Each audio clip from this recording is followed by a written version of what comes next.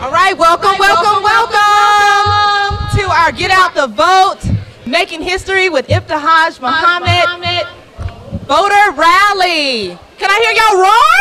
Come on. A rally ain't a rally unless we hear your voice, people, and see those hands in the air and feel that vibe and that excitement. I am your MC for today, Asila Rashid.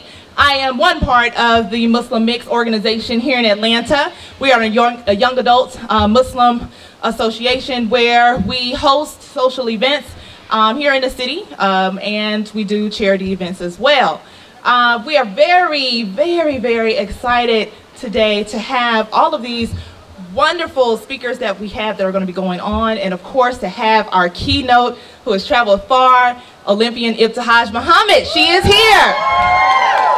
All right, so just a few things for you guys to remember and to know um, during this rally. We do have our hashtag that is vote like a champ, hashtag vote like a champ. So any pictures that you take, any Snapchats, anything like that, that's all of our social media lingo for those of you all who are, not on it. Utilize that hashtag as well as we have a very special um, Snapchat filter that has been created specifically for this event. So please find that and utilize it as well for all our millennials and others who utilize Snapchat. All right, so we want to get this party started um, right away. Are you all ready today to get riled up and get ready to vote? How many of you all have already voted? All right, okay, we see those stickers. And we got something special for those of you who did vote already. You will get your picture taken today with Ibtihaj Muhammad, okay? All right, so starting out, we of course cannot open up as Muslims without an opening prayer, dua. So we will have recitation uh, with the English translation that is going to be given by Hassan Faye and Edward Ahmed Mitchell, Executive Director of CAIR Georgia. And one other thing I want you all to do, just to keep in your thoughts and prayers, um, after this recitation, we lost a giant in the Islamic community here, specifically in Atlanta. That is Sheikh Ibrahim Pasha, uh, returned to Allah yesterday. So if you all could please keep him and your and his family in your du'as after this recitation, please. We would greatly appreciate that. All right, so without further ado, Hassan Faye and Edward Ahmed Mitchell.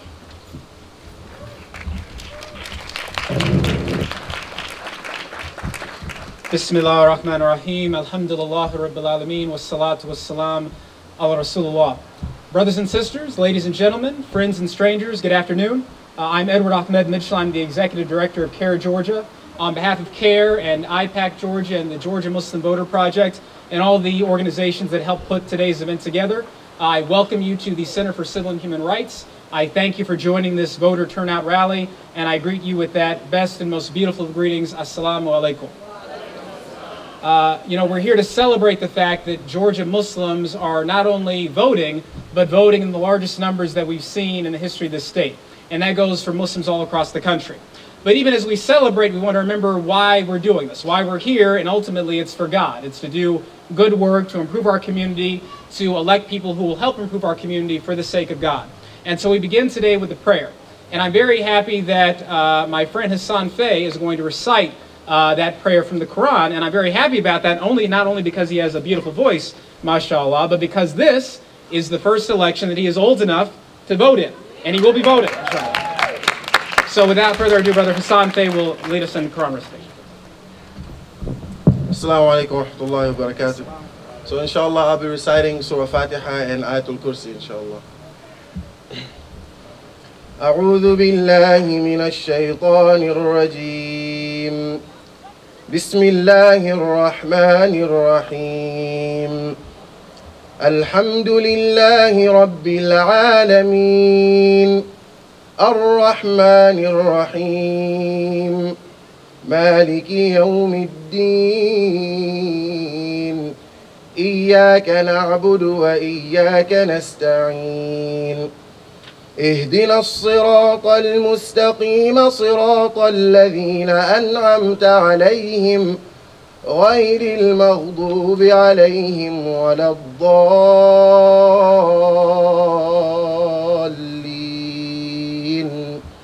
آمين. الله لا إله إلا هو الحي القيوم. لا تأخذه سنة ولا نوم. له ما في السماوات وما في الأرض. من ذا الذي يشفع عنده إلا بإذنه يعلم ما بين أيديهم وما خلفهم. ولا يحيطون بشيء من علمه إلا بما شاء. وسع كرسيه السماوات والأرض ولا يؤوذه حفظهما وهو العلي العظيم. صدق الله العظيم. The translation of the first part for our, our visitors, our non Muslim uh, friends and neighbors. In the name of God, the most compassionate, the most merciful, all praise and thanks belong to God, the Lord of the worlds, the most compassionate, the most merciful, master of the day of judgment. You alone we worship, and you alone we ask for help. Guide us to the straight path, the path of those you've bestowed your favor upon, not of those who earn your anger, nor of those who go astray. And then he said, Amen or Amen in the second part, inshallah, my memory does not fail me. God, there is no God but He, the living, the self subsisting, the eternal. Neither slumber nor sleep can seize Him. To Him belongs all that is the heavens and the earth. Who is there that can intercede in His presence except as He permits? He knows what appears before mankind and behind them, and they will acquire nothing of His knowledge except as He permits. His throne extends over the heavens and the earth, and it tires Him not to guard them both, for He is the mighty, the supreme. Takbir.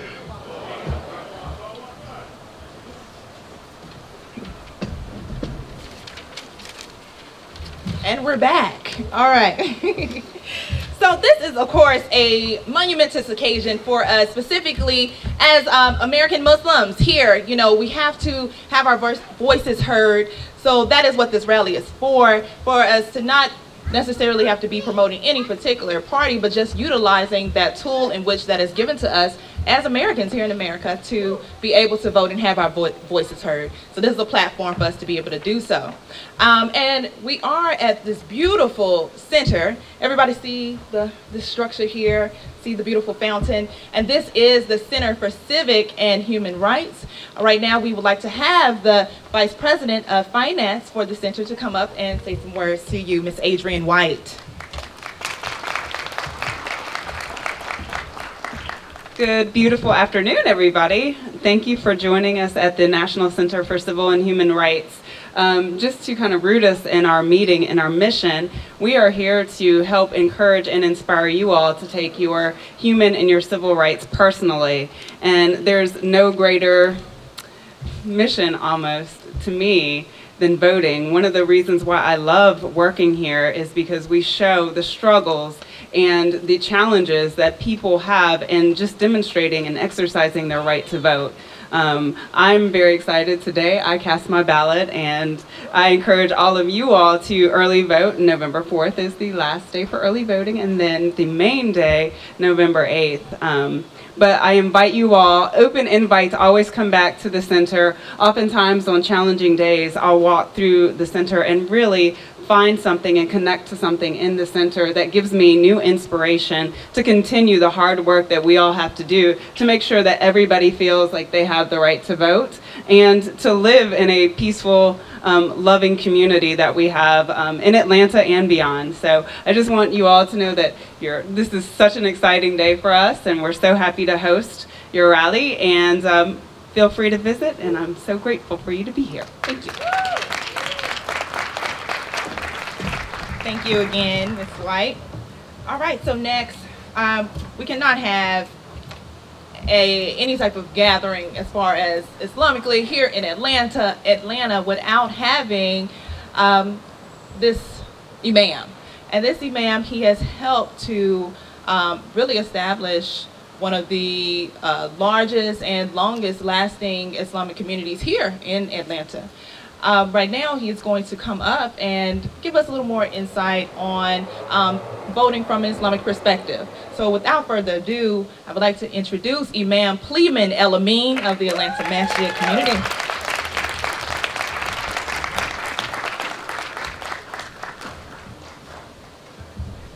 بسم الله الرحمن الرحيم الحمد لله رب alameen.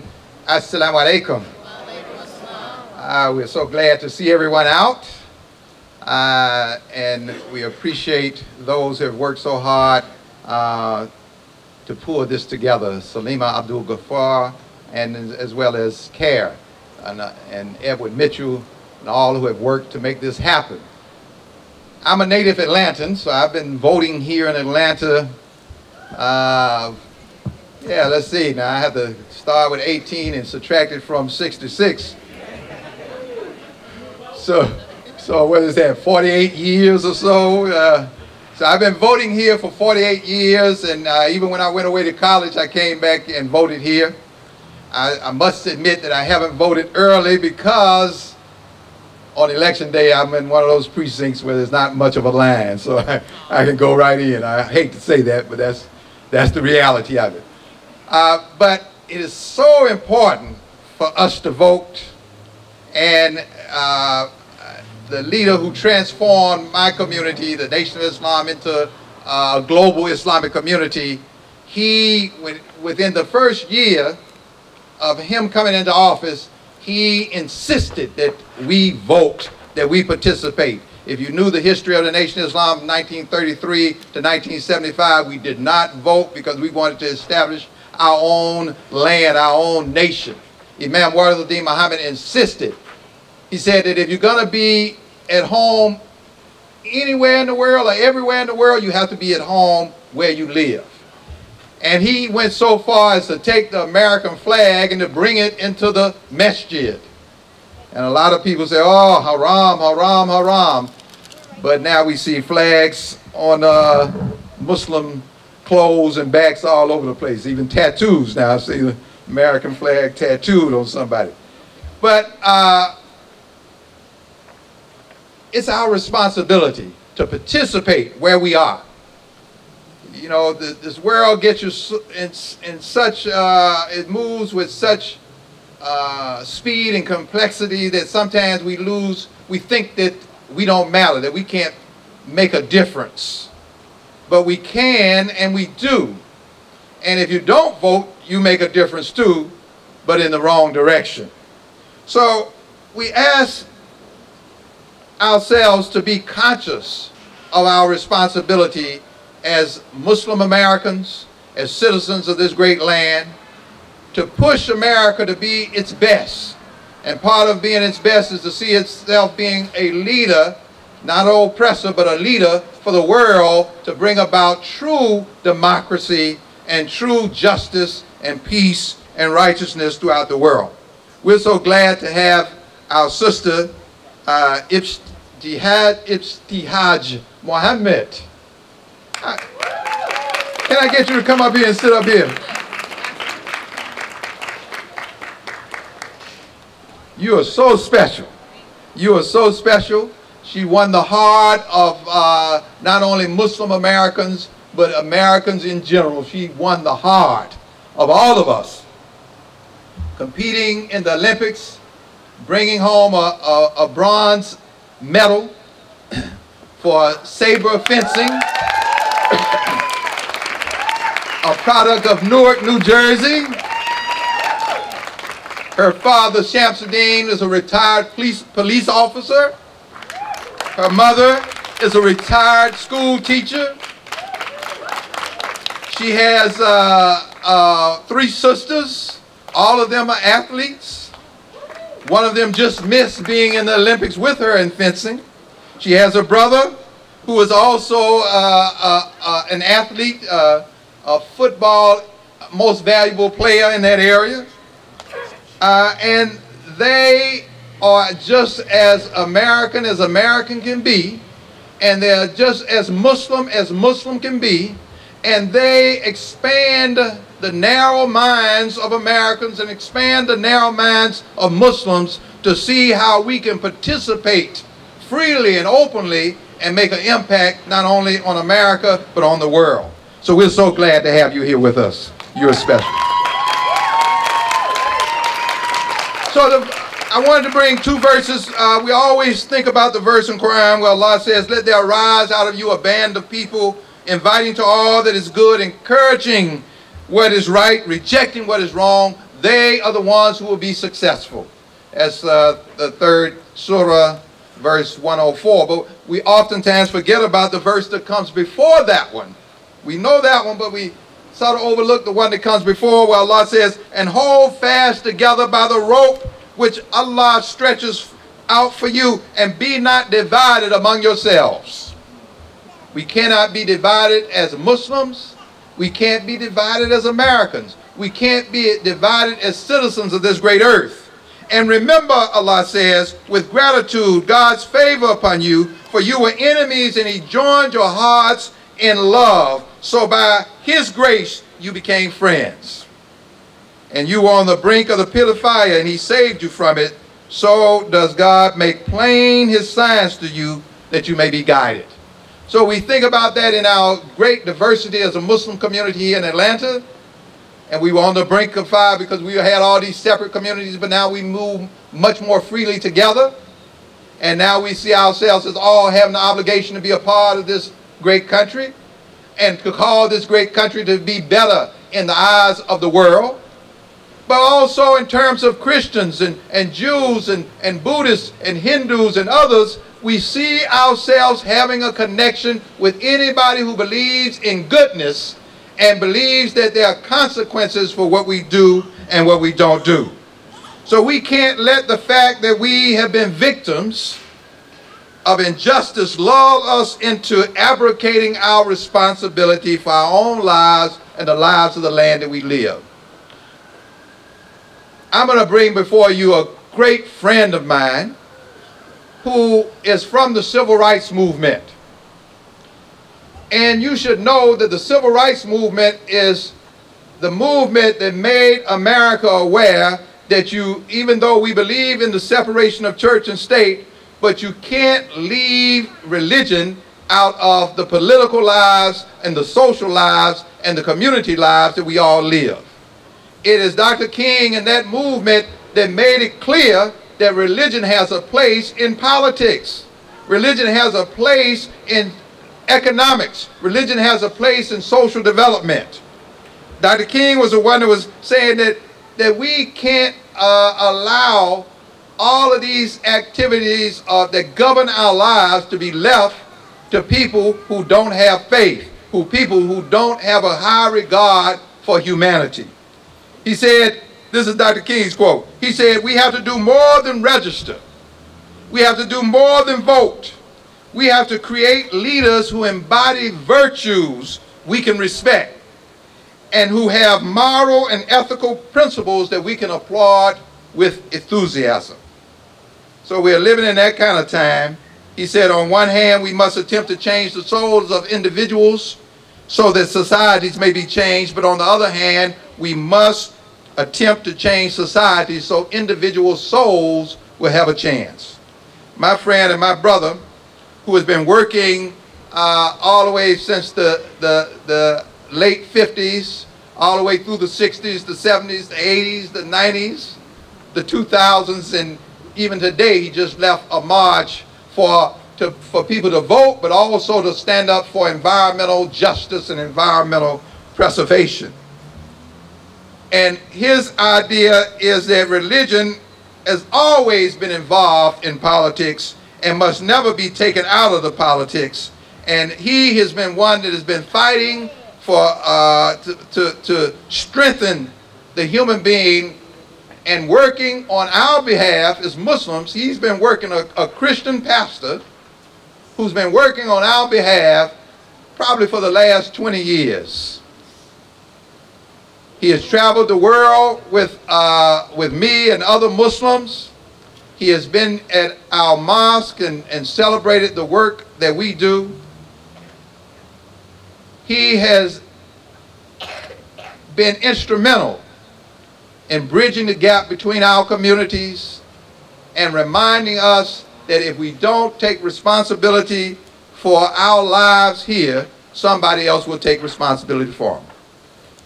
Good friend of mine, a pioneer of the civil rights movement, a pioneer of the human rights movement, and now a leader in the envi environmental movement, my brother, Dr. Reverend Gerald Durley.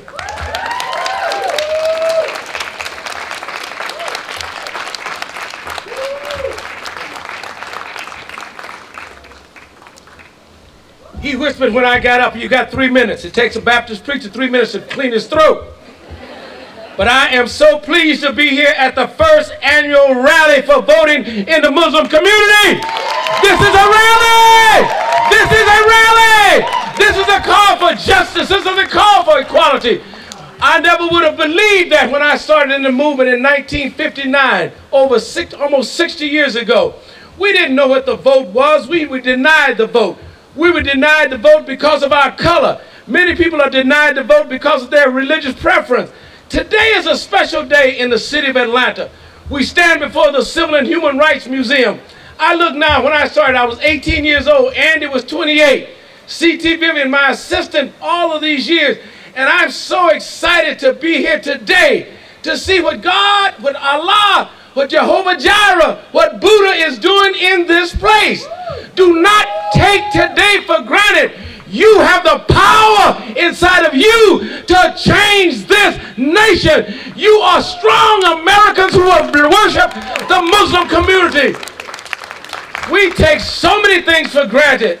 I never thought I'd see a big-eared, light-skinned brother in the White House. But because we believed, because we marched, because we stood together, because we came together, Muslims and Christians and Jews, understanding that we are one people with one voice. It's easy to stand out here. I've been rallying for 60 years, but today is special. Today is special. Today is special because we see each other. We see the strength. We see a young brother like Brother Mitchell over here and a sister who just won the bronze medal. I am so proud. I buried Wilma Rudolph. Wilma Rudolph won five, four gold medals in the 60 Olympics. And the Tigerbelle. This is a powerhouse here that will represent all of us across the nation. So I say to you, do not be weary in well doing, for you will reap in due season if you faint not. When they make certain uh, uh, words about, oh, that's just Muslim, or they wearing certain kind of dress, don't let them put you down. They said that I would never make it. They said that I was a, a stupid little kid because, because I stuttered. I could not get a word out, but the system said he stutters too much, and they put me in mentally retarded classes. But guess what? Because I believe in Allah, because I believe there's a God. I'm standing today and I'm not stuttering. And I'm saying, stand strong, be bold, get out and vote. Vote early. Don't let them put you down. Lift them up. Allah is with you. Thank you very much. Don't back up. Don't bow down. Don't turn around. Don't break.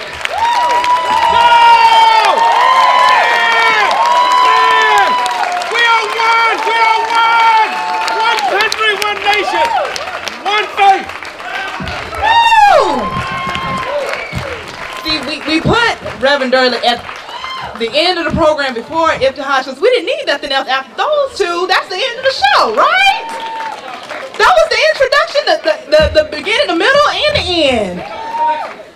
he said, take up a collection. We'll do that. Actually, all our organi organizations have tables right there in the back.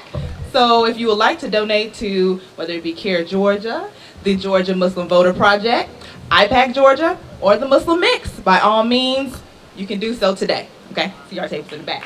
All right, we're gonna keep this thing rolling. Already, it's off to a great start, wouldn't you think?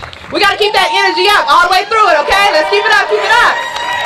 All right, so next, and, and this sister said, when she knew where she was going, she said, you're gonna put me after Reverend Durley, really? but I know she's gonna hold up because she is executive director of the Islamic Speakers Bureau of Atlanta, so come on, she's gotta bring it, right? As well as founder of Khalifa Consulting. Right now, I would like to introduce Sister Soumaya Khalifa.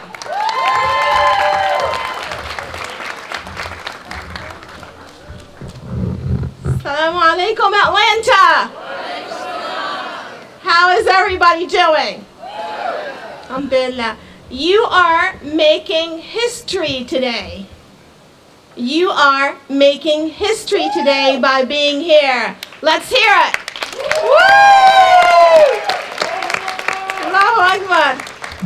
This is the first rally where American Muslims have come out to say, we are part and parcel of this great land.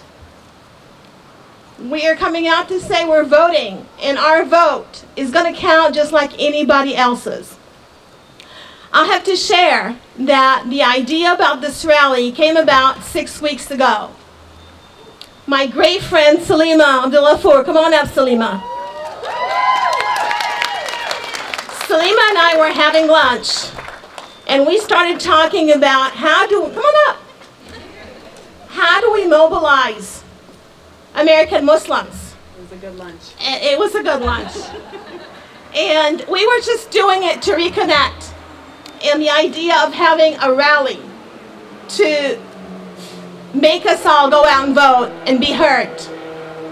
And Salima took the idea and ran with it, and she has worked so hard in making it happen, bringing in the amazing organizations, bringing in our hero, our Shiro, Ibtihaj Muhammad, and bringing all of us together. So this is really a very historic event today. You want to say anything? No, thank you. Thank you all for coming. Thank you all. And vote. Yes, vote. Yay, Salima. I want to tell you that voting for me is personal. It's personal not because, not only because American Muslims are front and center in the rhetoric that we're hearing about how we need to be deported, how we should not be brought in, how we should be used to fight terrorism, and the like. But it's more personal for me. My parents left their country when they were at the height of their careers. And they did that because of oppression, because of not being able to be heard.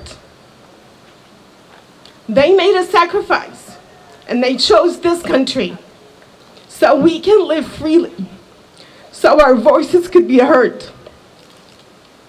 It is our civic responsibility. It is our right. It's a privilege. We must not not use it. So please go out there and vote and be proud to be an American. Thank you.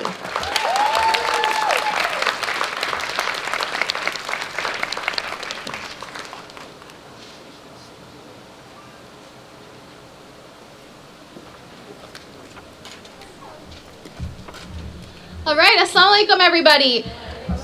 I know you're excited to hear Ibtihaj, and so I, so am I. So I'm going to keep this fairly short. Wanted to introduce myself. My name is Aisha Yaqoob. I'm the executive director of the Georgia Muslim Voter Project. So for those of you who don't know about the Georgia Muslim Voter Project, uh, we started off early this year with the goal of registering just a couple hundred new voters. Um, and today I'm proud to stand here and let you guys know that we've registered over a thousand new Muslim voters in the state of Georgia.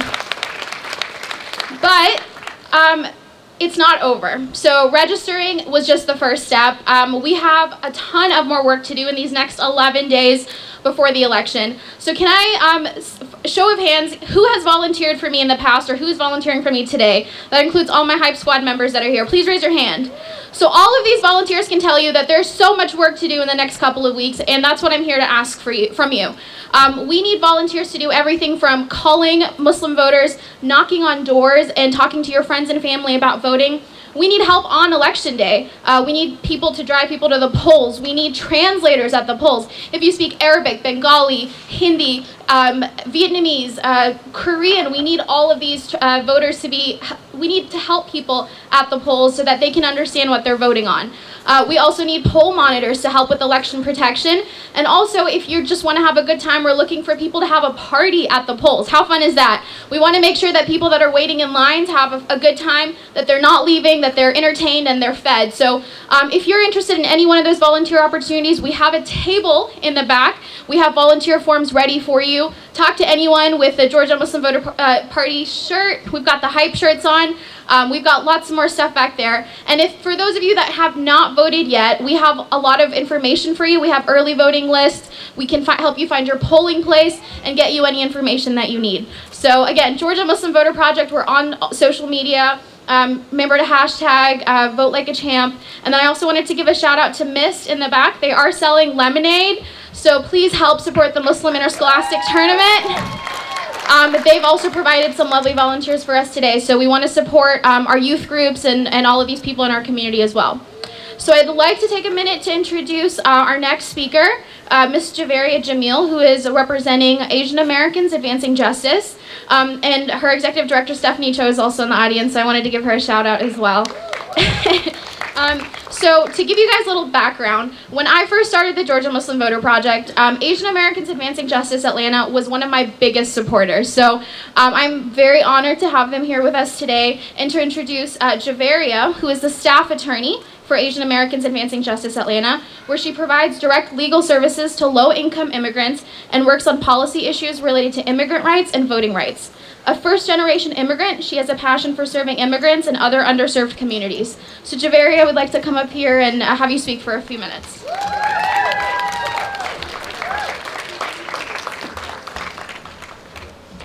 Thank you, Aisha. Um, Assalamu alaikum, everybody um, and good afternoon. um, so as, as Aisha said, I'm Javeria Jamil and I'm the staff attorney for Asian Americans Advancing Justice Atlanta. Um, we are the first legal advocacy organization dedicated to promoting the civil rights of Asian Americans and other immigrant communities in Georgia and the Southeast. This year, we've teamed up with the Center for Pan-Asian Community Services to form the Georgia Immigrant Alliance for Civic Empowerment, a coalition of 27 immigrant and people of color groups the Georgia Muslim Project is one of our coalition partners. So thank you. um, the goal of the coalition is to raise the profile of our communities in the political process. Um, so as we've already heard today, um, voting is so important. It's important not only for the presidential race, but also for the other contests that will be on the ballot this year. Part of our work at Advancing Justice is lobbying with the Georgia State Legislature. Every year, we see anti-immigrant and anti-people of color bills introduced, which try to disempower and take rights away from immigrant communities and communities of color. For example, for the past five years, the Georgia legislature has consistently introduced an English-only bill every year. This means that the Georgia government would not be able to use any other language besides English to communicate with its citizens. If the bill would have passed, Government materials like the driving test would not be available in languages such as Spanish, Arabic, Bosnian, and Korean.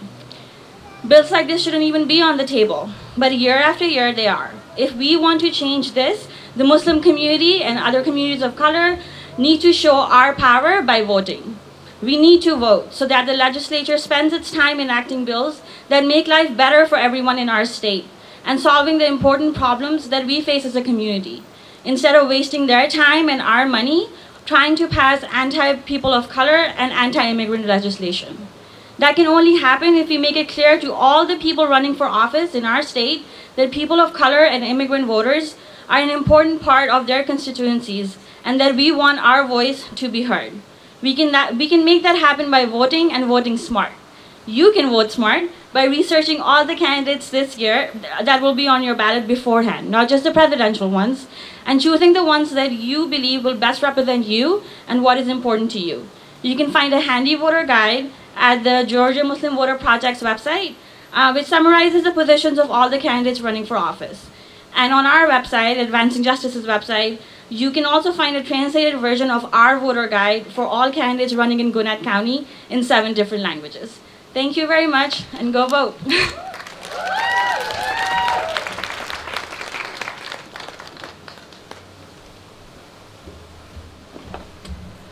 Thank you, Javeria. Um, and as she mentioned, we do have a voter guide that links directly to the nonpartisan League of Women Voters uh, voter guide that helps you look up all candidates all the way from president to the very last thing on your ballot, which are county and state level amendments and referendums. So please do check that out, gamvp.org. It'll take you uh, to that voter guide. So next, um, I want to introduce one of our other coalition partners, as Javeria mentioned, um, I, Nsé Ufot, who's right, right in front of me, and I'd say a couple words about her. Nsé, actually, I met her last year before I started any of this work, and she told me, Aisha, if you don't do this, I don't know what I can tell you because this work is very much needed. So um, Nsé is actually the executive director of the New Georgia Project, and she is proud to lead the organization to its goal of strengthening the state's democracy by registering and engaging Georgia's eligible but unregistered African Americans, Latinos, and Asian Americans. So Miss Nsé, please come up and say a few words.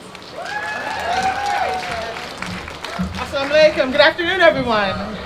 Thank you so much for having me, brothers and sisters, today. Um, because uh, we saw Reverend Durley stick to three minutes, I'm going to exercise some discipline today uh, and try to stick uh, to stay under three minutes as well. Uh, so I am the executive director of the New Georgia Project. We are a nonpartisan, nonprofit civic engagement organization. And we're focused on what's called the New American Majority. Uh, and for those of you who don't know, uh, the New American Majority is made up of people of color, young people, and single women. Uh, in Georgia, that New American Majority looks like Asian Americans, African Americans, uh, and, and Latinos. And uh, I'm very proud to announce that in 2016, uh, we registered uh, just over 124,000 of Georgia's new American majority. Uh, Georgia has 159 counties. I still don't know why we have so many, uh, but we've registered voters in every single one of them. Uh, and why we our work is so important and why today's rally is so important is because Georgia has a long and a recent history of voter suppression. Uh, in 2014, uh, New Georgia Project registered 86,000 members of the New American Majority by election day, the day that we, uh, the, by the time the election came around that we registered those voters for, only 46,000 of them had made the voter rolls. And people talked trash about us. There were horrible articles written about us in the newspaper, and we never stopped fighting. Uh, what we realized is that one of the most effective ways to overcome voter suppression is to continue to register people to vote, right? And to make sure that people actually get out and go vote. And so that is what we do. We register people, we do voter education and voter mobilization. And so I'm terribly excited about what I'm seeing today. Uh, this is the new Georgia. Uh, just a little bit for people who are recent Georgia uh, sort of transplants. Hey, police. Uh, so people who are recent Georgia uh, native or, or, Georgia natives, it's a state that's changing really, really, really quickly. Georgia's change is happening quickly and it's unique. Georgia would be the first state in the deep south to become majority people of color. But the most conservative estimate says that that would happen in six years. It could happen as quickly as four years.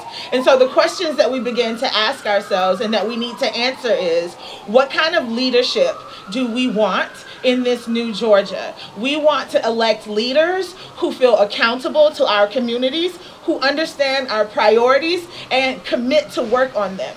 And if we don't get those leaders, the next time we have an opportunity to vote, we'll vote them out of office. Uh, absolutely, absolutely. Uh, the power of the vote. It's one tool. Um, so as a community organizer, we often find ourselves in these like esoteric conversations about really how important is your vote in a place like Georgia where it's hyper conservative and the uh, elected leadership doesn't often look like the people who live here in the state. And what I am here to say is that the power of the vote is incredibly, uh, it, the voting is incredibly powerful. Um, it is an opportunity for your communities to uh, represent and, and make clear to elected officials what your priorities are. Um, and I know that many people will focus on the top of the ticket, the presidential races this year. But there's so many really important things on the ballot, so many questions that Georgians have to ask themselves and answer this year. So there is the question of whether or not we want to uh, take over schools to take decision making out of the hands of local communities, uh, take the decision making out of the hands of families and parents and local school makers uh, and, uh, and educators, uh, and put it into the hands of unelected officials who are seeking to grab power and fundamentally transform Georgia's constitution uh, and the way that we deliver quality public education to Georgia's children.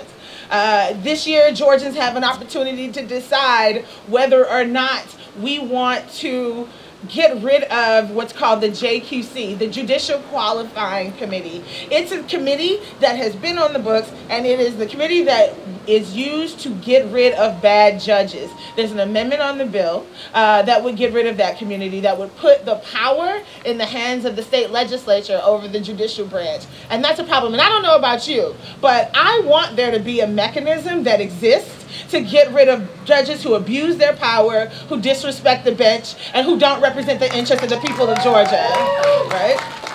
Uh, Atlanta, unfortunately, is one of the cities in the country uh, who has the highest number of uh, people that are being sex trafficked. And there's an amendment on the bill, uh, Amendment 2, uh, that would allow there to be, uh, will create funds uh, so that we can provide counseling uh, and provide harsher sentences for people who engage in those activities. So it's not just about who's running for president. Your voice matters in making so many decisions, and it's not just about who's in the White House, it's about what's happening in your house. Uh, so I thank you, I implore you, we have nine days. Today is election day in Georgia, tomorrow's election day in Georgia. Take care.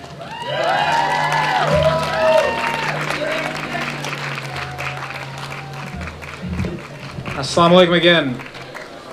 Okay, so I had some remarks that I was going to say, but I'm just going to skip that because I want to get to Ibtihaj as quick as we can, inshallah.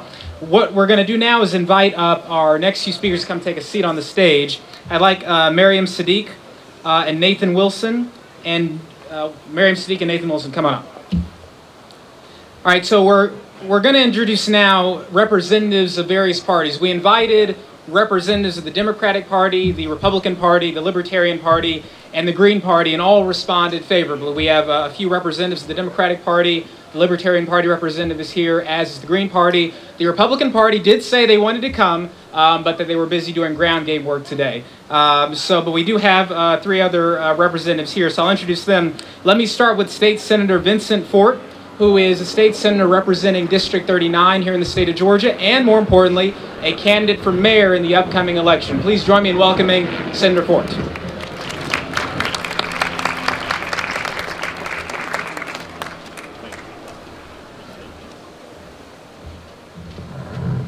Good afternoon.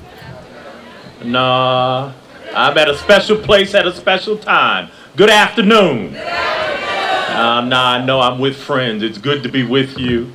I will say that I have not officially done my paperwork to run for mayor yet, but soon enough. But it's good to be with you.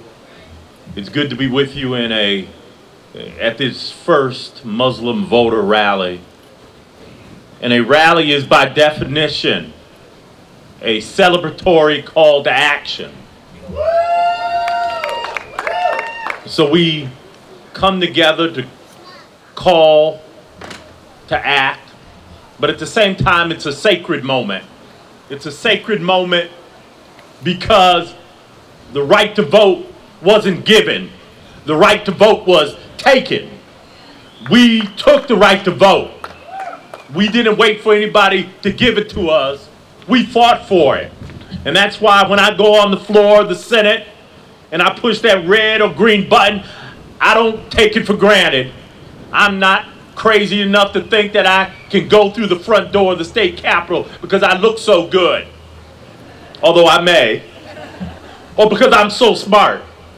I get to go to the state capitol, go through the front door, go on the floor of the Senate, push that red or green button because somebody thought it not robbery to stand up and take risks and even shed their blood, sweat, and tears. So as we as we stand up to celebrate and to call to act, we ought to know that this is a sacred thing we're about. This is a sacred act that we do when we go to vote. I don't have an early voting sticker. I like to go vote on election day. I just love to be around people in the voting booth. But whether you vote early or you vote on election day, don't vote late.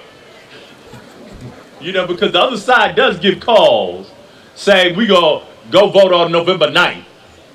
Don't do that. So I'm glad to be here, but I want to tell you something about what's going on between now and November 8th. It's been published online in online newspapers. And I'm going to get partisan here because it's the truth. I'm going to tell the truth and shame the devil. The Republican National Committee has put out a plan, and you've heard Donald Trump. I'm just going to speak it out. Donald Trump has put out a plan to suppress the vote. They're talking about they're going to get out. See, y'all may be nonpartisan, but I'm non nonpartisan. and Donald Trump has already talked about how he's going to put out troops in the streets to, with cameras and intimidate people. Well, let me tell you this. We've got a lot of work to do between now and November 8th.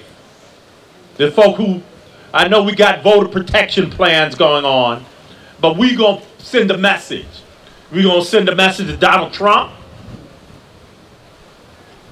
We're going to send a message to Brian Kemp and whoever else that we're going to enforce the consent decree that the Republican National Committee entered into several years that they will not try their voter suppression tactics.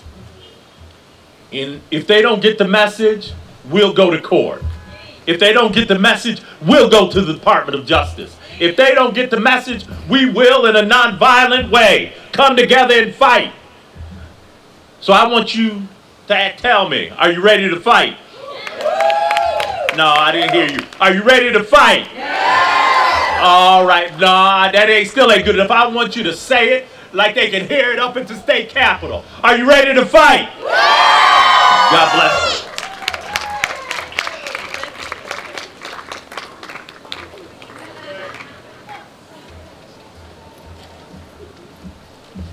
Thank you, Senator Fort. Next up, I'd like to invite Nathan Wilson, who is a small business owner and the executive director of Georgia's Libertarian Party. Mr. Wilson, please.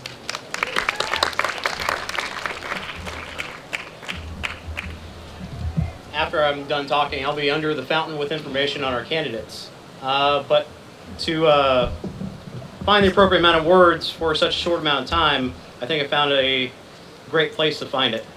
I, uh, a friend of mine, uh, Will Coley, ran for vice president for Libertarian Party, who stepped down to support another candidate. He's also a Muslim, also uh, part of Muslims for Liberty. Uh, has these words: "The reality of American po politics boils down to gun, the gun in the room. Republicans want their hands on the gun so they can use and engineer society into the right-wing utopia. Democrats want their hands on the gun so they can use and engineer the left-wing utopia." Both want to use the gun of force. On the side, they accept their views, their morals, and their vision of paradise. The libertarian doesn't and shouldn't want the gun. We want to get rid of the gun itself. He has no desire to beat the rest of society into submission and his will. He sees an only val- the, the only valid use of the gun as in protecting the rights of each other and protect the rights to themselves. I refuse to support anyone who is fighting to control the gun and they plan to use on my neighbor or myself. You can find him online on uh, Call for Freedom Radio if you're interested in hearing more about him. But libertarianism, I hate the borrowed words that we're socially liberal and fiscally conservative. That implies that we borrow the ideas of the other parties, and that is not true. Liberty and freedom is a natural right and it existed with man. So you want the summation of the Libertarian Party? It is anything peaceful. You own your life, liberty, and property. No one has the right to take your property. You own the sweat off your brow and your labor. You own your future. You do not have the right to have your life denied or detained if you have not justly uh, taken the rights or liberties of another person. You own your own liberty to live your life the way you wish. The government nor another group has the right to deny that to any person. We are a party of peace. We are a party of principles. We have our opinions on what you should vote for and who you should vote for, but to the most part, all we want is for you to be involved. The future of this country will be maintained in the hands of its citizens, not the government. So please, get involved and take the responsibility for change on yourself. Thank you.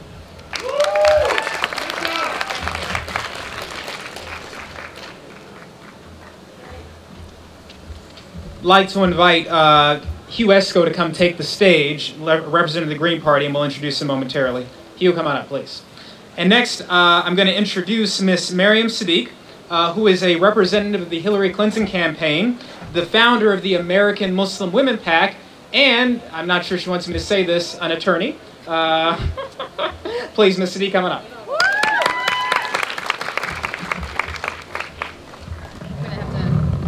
I'm going to stand over here. I have my book that I've carried around with me all year.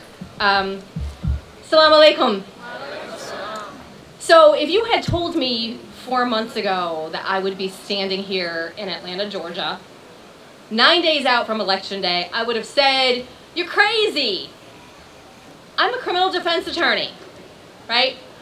I'm a Muslim criminal defense attorney. I'm a female Muslim criminal defense attorney. Somebody clap for me, thank you. I'm an American Muslim woman. Um, but I was a disaffected, disinterested voter earlier this year. That's, that's the truth. I was born in Kandahar, Afghanistan. My, fa- my family emigrated here in 1973. We had every intention of going back home, didn't become citizens until it was clear that the Soviets weren't leaving anytime soon and the Taliban were not going to give us our homeland back without so much blood being shed.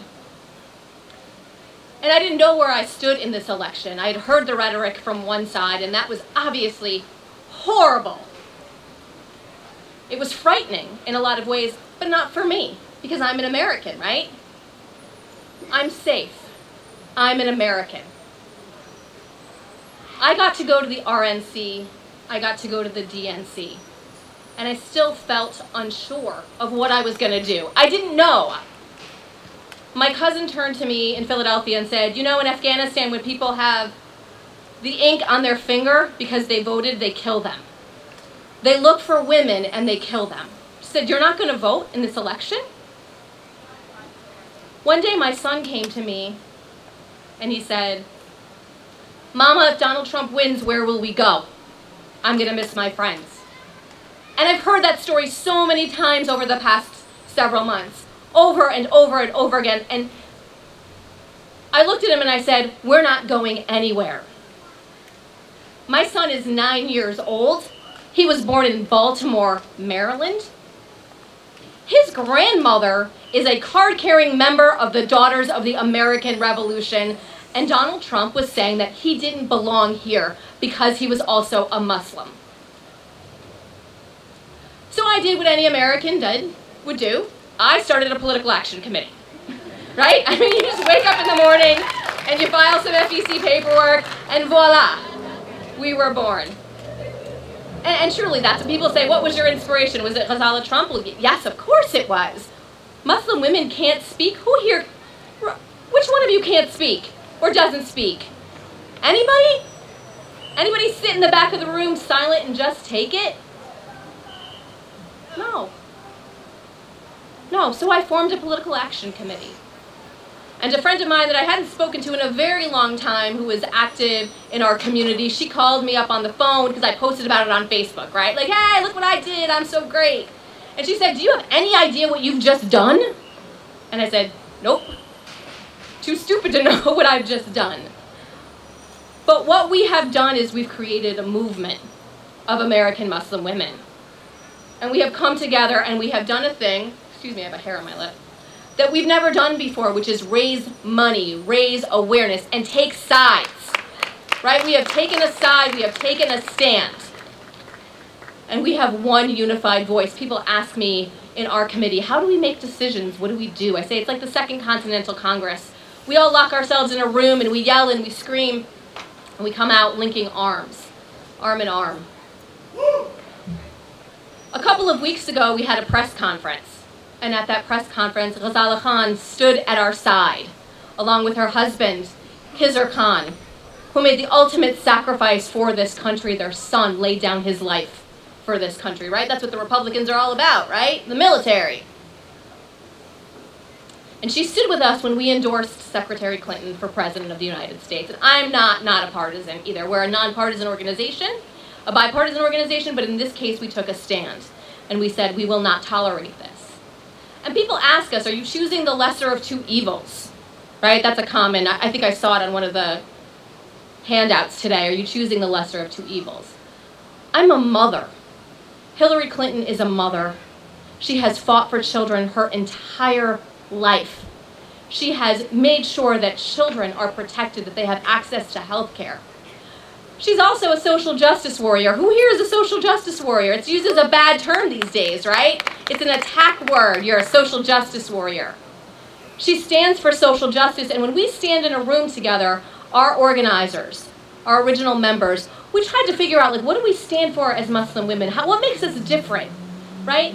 And we came to the conclusion that our faith, what it guides us to is social justice, to equality for all people. And in this campaign, there is really only one candidate that stands for that. Just one, and it's not that guy. Okay? It's not him. So I do think it's crazy that I'm here. And I, I mean, I, I'm going to sit down in just a minute because I think I've made my point. Um, but whenever I give this talk, you know, I give it in, in different ways to different people. And this is the first time I get to give it outside on a day like this. And I, I give thanks to Donald Trump. Truly, I do. Because you never know what choices you make, the path you take, where it's going to lead you, how you're going to get to the next step, right? You just wake up and you file some FEC paperwork. But if it were not for Donald Trump, I wouldn't have met so many sisters around this country who love their country, who love their families, who love their faith, and who honestly, who practice it in so many different ways. Right? We're always judged by what we wear on our heads. Do you wear hijab? How devout does that make you? I wouldn't have met so many hundreds of brothers who want nothing more than to see us succeed. They think we're oppressed, right, by our men. They think our men hold us down. That's a, such a lie. That is a lie. I have seen it with my own eyes. People that I've never met before lifting us up. And I wouldn't be here on this amazing October day. Who would think? And, and met these amazing women and men. I, I just, thank you, Donald Trump, for this, but don't vote for him. Okay?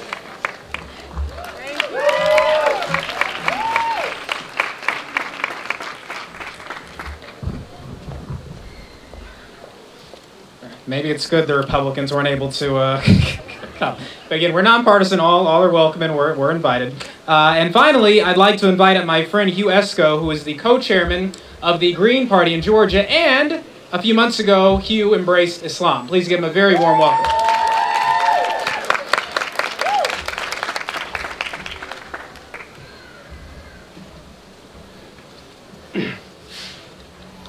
Bismillah. I join you today with gratitude for the grace which gives us each, uh, each of us breath, and for the mercy that provides us family and friends and community with whom we may share our brief time on this planet. However brief, we are each put here to make a difference, and I am here to ask you to step up and make the kind of difference that matters. I ask that you demand from those who seek to govern in our name that they represent our values and our priorities. My name is Hugh Esco, and as he said, I'm co-chair of the Georgia Green Party. We call ourselves a party of compassion, offering a politics of hope. In Georgia and across this country, we have worked for 30 years to advance public policies and priorities aligned with green values, peace and nonviolence, social justice, grassroots democracy, and ecological wisdom. The 2016 presidential race, again, offers us a choice among corporate finance candidates and parties who have demonstrated by word, action, and policy their antagonism to Islamic aspirations that we struggle for peace with justice, for an ummah that embraces all of creation. One of them would build a wall to exclude the families of our immigrant neighbors from reuniting here. The other has built a political career on the bodies of innocents murdered in this nation's illegal, immoral, and imperial wars of aggression, conquest, and occupation. If offering a peaceful future to your children is not important to you, either of those options will suffice. But if you share our commitment to ending war, to honoring and protecting the creation by taking urgent action to address the climate change crisis, to reversing mass incarceration and the surveillance state, to challenging the maldistribution of wealth fueled by usurious and predatory business practices which crashed the economy, to providing universal and affordable access to health care, not only for the well-employed, but to the widows, orphans, and others excluded from the privileged places in our economy, then I urge you to check out the Green Party. You can find us on the web at gp.org, locally at georgiagreenparty.org. And I urge your support for our presidential slate, Dr. Jill Stein, a physician from Lexington, Massachusetts, and Ajamu Baraka, a human rights activist from right here in Atlanta, Georgia. You can learn more about their campaign at jill2016.com and by speaking with me and our state party treasurer, Al Herman, who's operating one of these cameras here. In his final sermon, the prophet, may peace be upon him, instructed us that we are to treat others justly.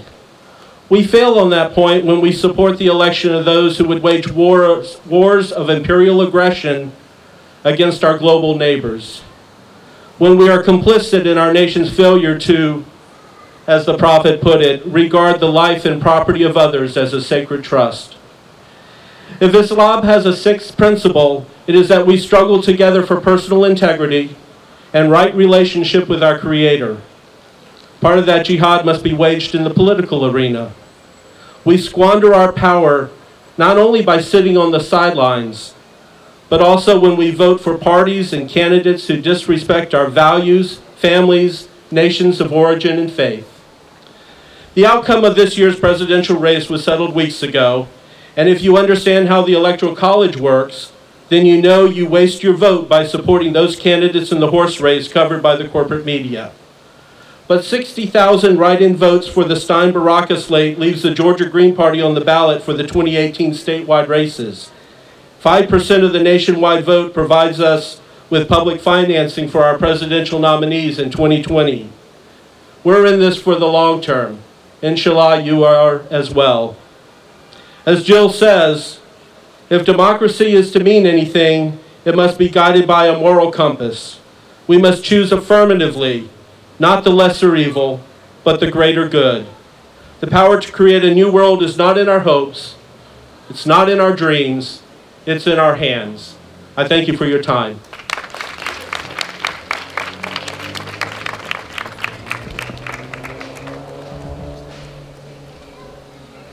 Okay, finally, the next speaker really doesn't belong in this group of speakers, but I wanted to introduce him myself, and that is Imam Mansour Sabri, uh, who is the Imam Emeritus of Atlanta Masjid al-Islam and the Executive Director of Iman Atlanta, the Inner Muslim Action uh, Network of Atlanta. Imam, please come on up.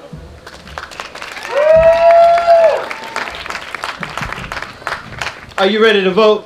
Yeah. Say, I'm ready to vote. I'm ready to vote. Are you ready to vote? I'm ready to vote. Say, I'm ready to vote. I'm ready to vote. Who you going to vote for? You. Alhamdulillah. The praise is for God. And then the praise is always for God. This is a blessed day. It's an honor. It is a tremendous occasion for us to be present. It is a real reminder of what it means to be American what it means to be Muslim, and what it means to stand up for what you believe in. We are here to show that we believe in this country and what it stands for. It is a reminder to you, but more so for those who are watching or those who will see this later on, about what the American Muslim means to America.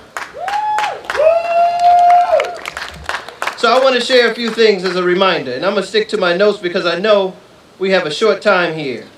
But Allah God Almighty, He reminds us in the Quran that we are those who stand up for the best of life. Right. And we are the ones who stand up for excellence. And when we look at the truth and the truth of the matter of American American society, we find that the American Muslim community has enriched this nation. We find us in the ER as doctors. We find us as entrepreneurs producing jobs for people in America. We find us as educators and teachers and beautiful lawyers, social justice leaders, those who stand for truth, those who stand for honesty, those who are standing for the values of America. That's what you find in the Muslim community. That's right. You find us, you find us as athletes. You find us as those who, who we cheer on, like Muhammad Ali, who lit the torch right down here in Atlanta. And you find us remembering those who, who fought and who strove in this, this Olympics in 2016. Ibtihaj Muhammad, who's here right here with us today. We find the Muslim community leading in ways that show the best of us, the best of the American community. Because we are a place that stands for truth, for justice, and freedom for all people. So, dear brothers and sisters, this is a, a, a, momentous occasion. And, and just to close, I want to just share a few words. A few words that, that Ibtihaj, myself, and 200 leaders heard from our President Barack Obama two or three months ago at the White House Eid Iftar. And he said, we must commit ourselves to building an America where everybody has the opportunity to achieve their dreams. We must reaffirm the values of democracy and freedom for religion, tolerance, community building, understanding, and hard work that allows all of us, no matter our faith, no matter our race, our ethnicity, to prosper. This is what we're voting for. And this is why we're here today. Assalamu alaikum.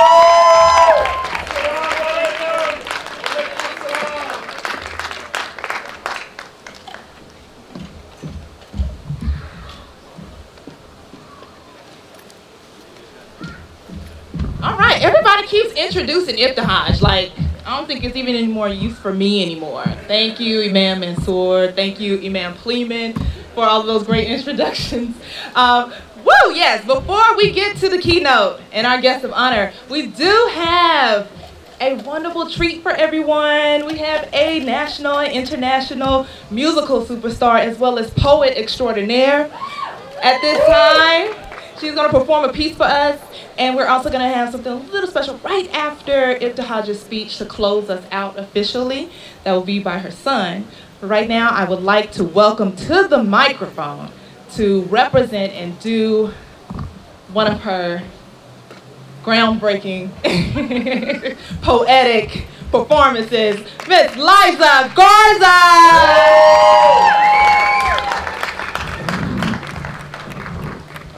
Alaikum, peace family.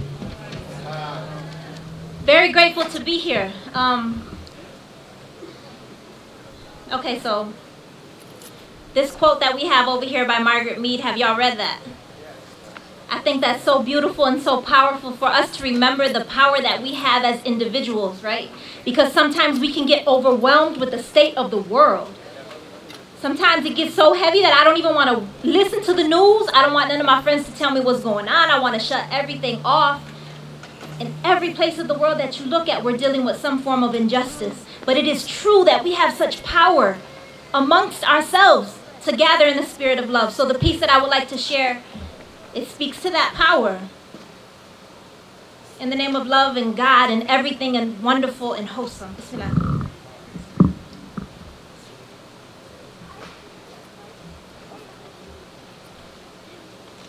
When the sky opens above us and the earth sinks beneath us, when our lives are revealed to us with no veils as decoration, our consequences will be waiting. You will beg for that second you spent hesitating to return to you, to undo, redo, rewrite, rewind, relove, realize life is fleeting. Life is leaving. With every second, every bounty is seeking, you find it. Every abundance is asking, you claim it. What more do you need than the earth laid out before you? Than the sky held high above you, begging for you to trailblaze, blaze trails, not even shooting stars could outshine. You are magical and amazingly wonderful. I swear by my Lord, you are beautiful and worthy and written. A word is read, and you are given a passion, a purpose, a rhythm, a reason beckons you to take flight. A new and pure life awaits in the decisions that you make. A new and pure life awaits in the decisions that you make, in the patience that you practice, in the rituals you make constant, in the evil you condemn, in the love you commune, in the violence that brings justice or the justice that brings violence. Our Lord is sufficient and every seemingly meaningless moment significant, and how magnificent that this wonder is written in the laughter of the progeny after you and the cries of the ancestors before you. How could anyone ever convince you that you are here alone? Without a home, when generations embrace you from every angle and angels are waiting for a reason to surround you wishing and hoping that your lips would move in motions that would remind us to the name of God, that would remind us to the grace of God. Let the rain come down and the vegetation give way, filling the earth with such a sweet and familiar fragrance. Fountains I swear I have bathed in. Souls I'm certain I could name them if it wasn't for how beautiful they now appear. Their prior form could never dis- could never compare my testimony is that my Lord has always been there in my darkest hour of despair. And your Lord has always been there in your darkest hour of despair. And our Lord will always be there in our darkest hour of despair. Say it with me one time. And our Lord will always be there in our darkest hour of despair.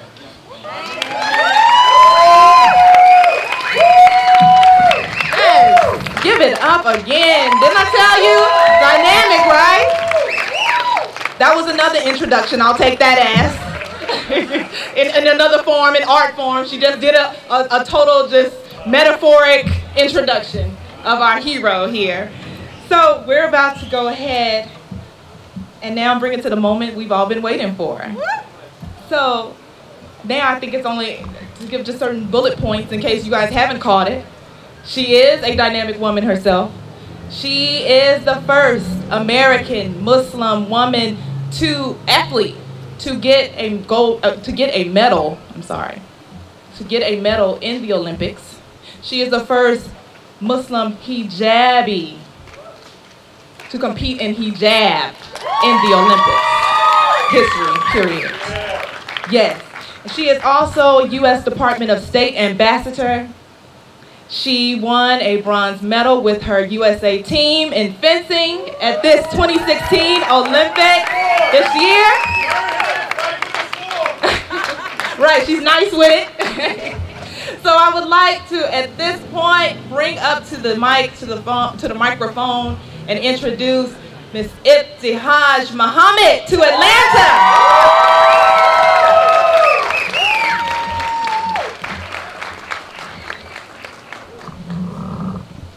Bismillah ar-Rahman ar-Rahim. Assalamu alaikum wa rahmatullahi wa barakatuh. Uh, thank you so much for that warm welcome from everyone. You guys are awesome. Uh, it's truly an honor to be in attendance with you all today. I have to say I am a little jealous. Uh, up north, it's a little cold already. We already have our jackets out. So I just want to thank Atlanta for bringing the sun out for me today. I appreciate it. Um, as you may know, I am the first Muslim woman to compete in the Olympics. Um, for the United States in hijab, I'm also the first Muslim woman to ever win a medal for the United States in the Olympics. People always wonder how I, as an African American Muslim kid, discovered the sport of fencing. My participation in the sport of fencing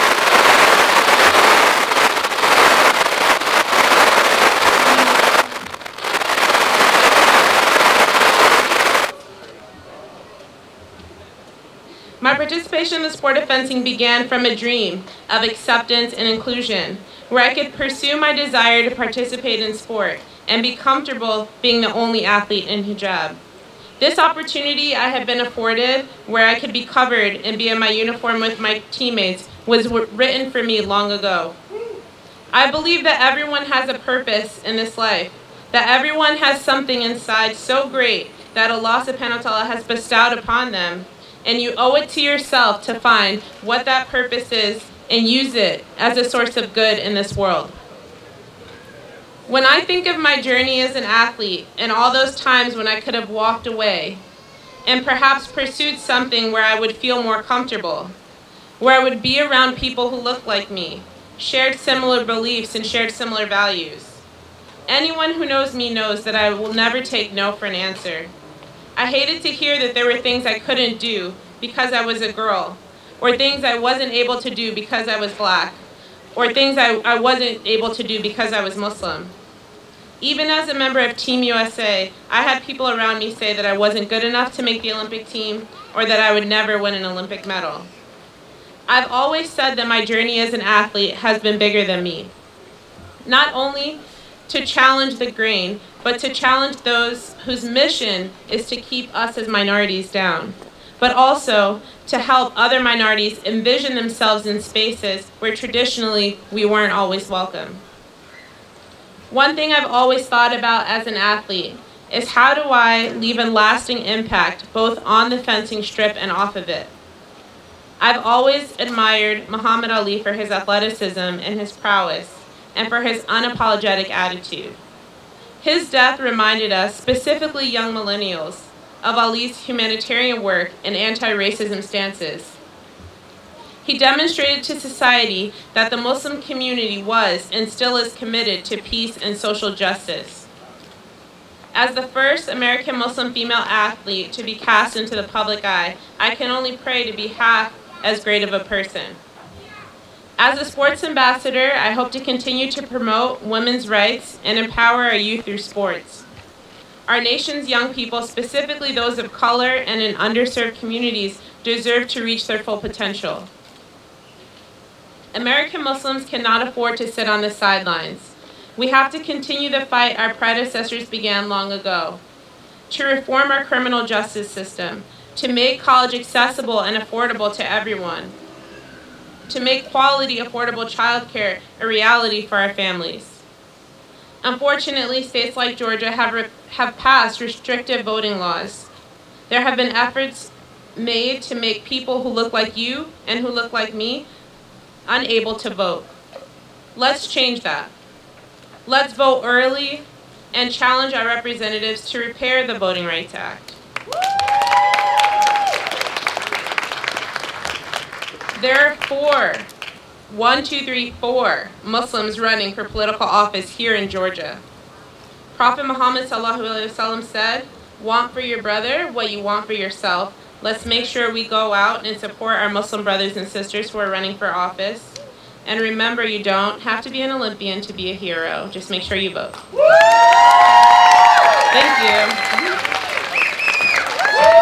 you.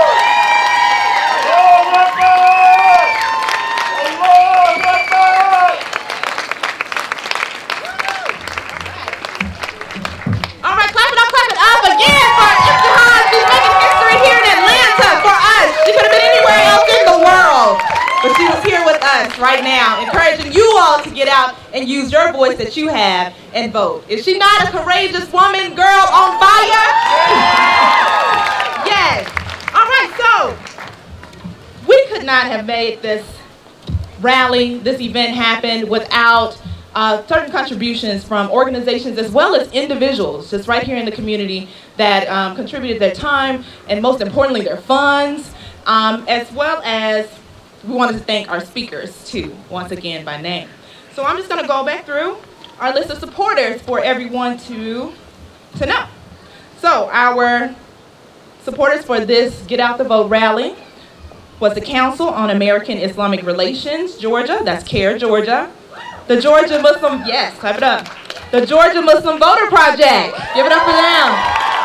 And be sure to see their volunteer table as well and sign up for ways in which you can get involved here in Georgia specifically. Eman Atlanta, IPAC Georgia, the Muslim Mix, and I want you all to make sure we have, I have Khadija here. With her hand up. She is a member of the Muslim Mix, our communications, and she is going around making sure she gets everyone's contact, get in our database so you can know about all of our future events and ways you can get in the mix. All right? Kabira Azam, Azim, sorry. Yes, Kabira, contributor. Salima Abdul Ghaffar. Yes. this is really between her and Soumaya, the brainchild, the brain children who brought this event together. Okay, Stephanie Y. Ali Powell, the Mocha Group, Sabira Amatala, Heather Fenton, Dr. William Flowers, Dr. Gulshan Haji, Haji Rizwan Hassan, Dr. Martin Dawood Jeffries, Raymond Khalif, Saeed Khalif, Soumaya Khalifa, Jessica Muhammad, Lamar and Lindsay Owens, Akil Secret, Waleed Shamsuddin, Ruth Wall. All right, so give it up again for all those who contributed. It took a lot, it took a team. And once again, I want to thank our speakers who came and gave their time, their voices. We have a lot of things to think about now because of them. They helped definitely make it a little harder, possibly a little easier, maybe for some of us. So our speakers represent, I'm sorry, Imam Plemon El-Amin of the Atlanta community, Reverend Gerald Durley, who popped it up early for us, Hugh Esco, Hassan Faye, Representative Vincent Fort, sorry, Senator Vincent Fort, Liza Garza, gave that wonderful performance, Imam Abdullah Jabir, Javeria Jamil, Soumaya Khalifa, Asila Rashid, thanks. Edward Mitchell, Ibtihaj Muhammad, Nise Umfut, Umfut, Inse, Inse, I apologize, Inse Umfut, Imam Mansour Sabri, Miriam Sadiq, Aisha Yaqoob. And next, we have just a little special treat just to close us on out because we're going to be getting our pictures taken and everything with Ibtihaj. If you voted ahead of time and have your sticker. Uh, but also, Liza Garza's son, Eli Lakes, is going to come up and he's going to perform a little number for us, musical number. So that would be um, Thank you all again for being here. By being here, you are being just as courageous. You're being a hero. And for voting like a champ, remember to use the hashtag vote like a champ so that we can encourage others to go out and do the same. All right, so thank you all so much. Enjoy the rest of your day. And let's make this thing happen. Let's make history. All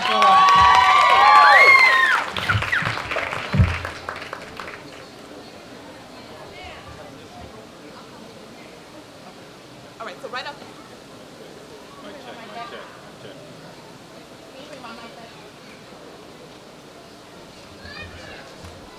Okay, so right after Eli performs, we do have um, Imam Jabir who's going to close us out in dua, inshallah. All right? Can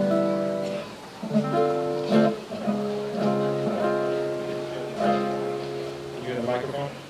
Can you turn off the mic? Can you hear me? Can you hear me? Can you hear me? Check, check, mic check, mic check. Can everyone hear me well? Okay. Assalamu alaikum, everybody. Peace, peace. My name is Eli Lakes. I'm originally from Flint, Michigan, but now here in Atlanta. Um, I'm gonna be doing a song for you today off my debut album, my album I released this past month, my birthday. I just turned 18. Thank you. Um, so this song is called Oceans. It's about my perspective and like the climate of the world that we live in today and the things that we're dealing with and things like social justice and Black Lives Matter and like this whole, this, yeah, this whole just injustice piece, injustice piece, you know? And um, yeah, so without further ado, the song. You know.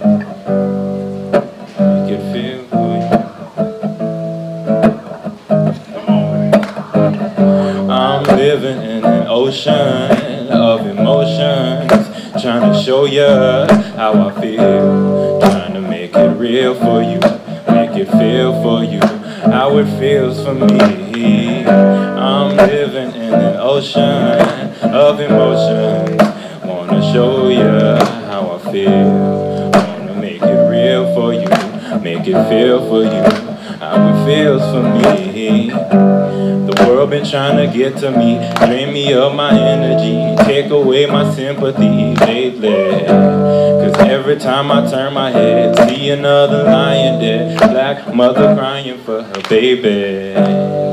Steady trying to hide the truth, they don't really care about you. They lying to our faces. When we gonna get it right? Will this be the final fight?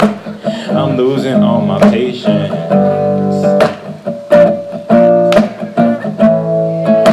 I just can't lose my patience. But how much longer can we take this?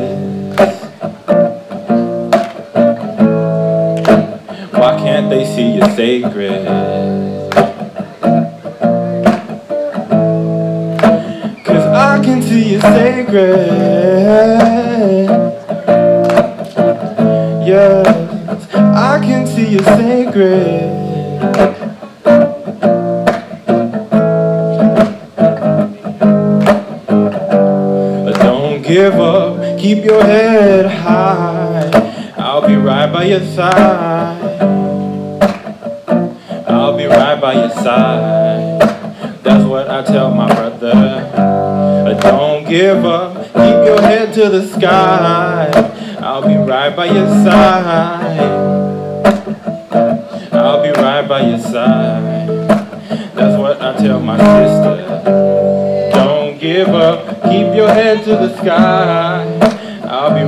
your side. I'll be right by your side. That's what I tell my mother. Don't give up, keep your head to the sky. I'll be right by your side, By your side. right by your side. I'll be right by your side. Tell my mother, Don't give up. keep your head to the sky. Your side. I'll be right by your Here we go, here we go. Say it. Say his name, say his name, Say his name, say his name, say his name, say his name, say his name, say his name, say his name, say his name, say his name, say his name, say his name,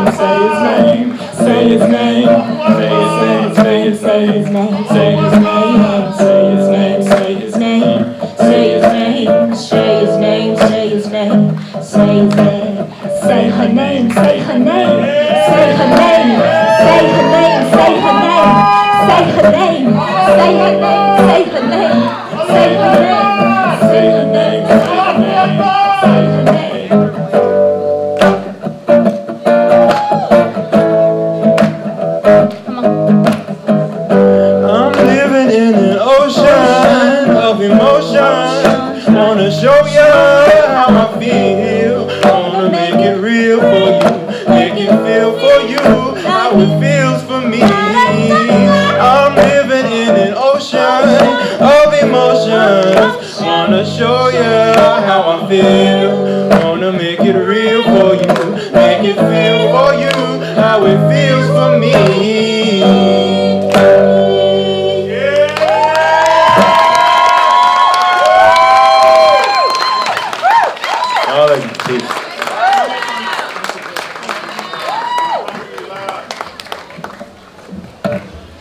Evening. Assalamu alaikum. So one more little thought before we close out with Imam Abdul Jabbar.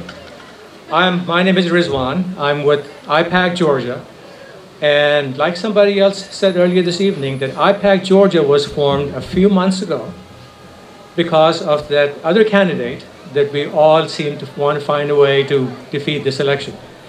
IPAC Georgia is an independent PAC, but in this election, we're not independent. In this election, we are endorsing a party and a candidate. I'm reminded of a, um, a saying from one of our presidents a hundred years ago. That was before my time. Um, his name is Teddy Roosevelt. What he said was, this country will not be good enough for any of us to live in until this country is good enough for all of us to live in. That is the basis of what IPAC is talking about. This is where we want to be. This country must be good enough for all American citizens to live in. Now, we have two parties, two major parties. We heard from others as well, but there's two major parties.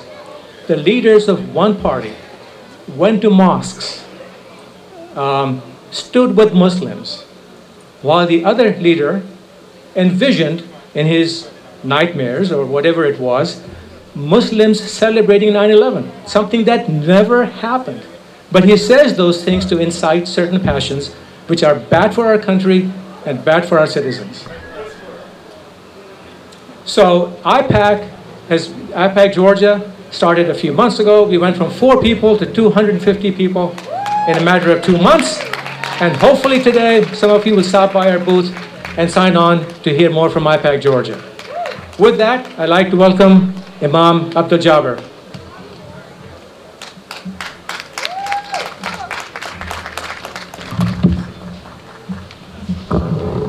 السلام عليكم ورحمة الله وبركاته. Brothers and sisters, um, as we close out, I would just like to remind you that um, they couldn't have picked a better venue for this than where we are standing right now. Whatever has been spoken of and the struggle that we talk about and we're speaking about, this represents that same struggle. It's a reminder. But again, in this struggle, you cannot subtract God from any conversation. You subtract God from conversation, you are planning for failure. You can't move without God. You can't succeed without God and His prophets. So I don't want to speak about uh, anything, but I do want to remove a misconception, a misunderstanding that people have when they think about dua, because I've been commanded to make dua and supplicate. But some people have a misunderstanding as to what supplication is. You see, some people think that supplication is the end all. That's the bottom line. You just have to supplicate to God and just dream of a good world. That's foolish. You see, if supplication did the job, then why did Abraham struggle? If supplication did the job, why did Moses struggle? You see, according to our faith, Moses prayed, then struggled for 40 years, and then the people were liberated. What was that for? If dua did everything, what was that for? And if dua did everything, then why did the prophet stand on the field of Badr? Why did he struggle for 13 years in Mecca? Why didn't he just walk into Medina? Because, hey, dua does everything. No.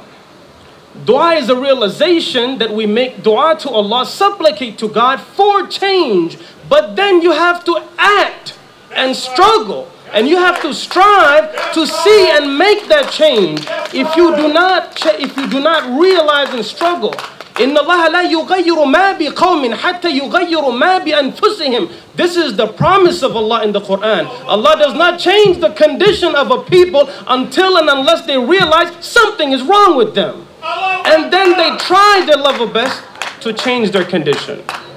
You get the point? You get my point? So you guys remember what rally means? A celebratory gathering. As a Muslim, your whole life is a rally. Because you're in a constant effort to change. Raise your hand. Allahumma ameen rabbal alameen.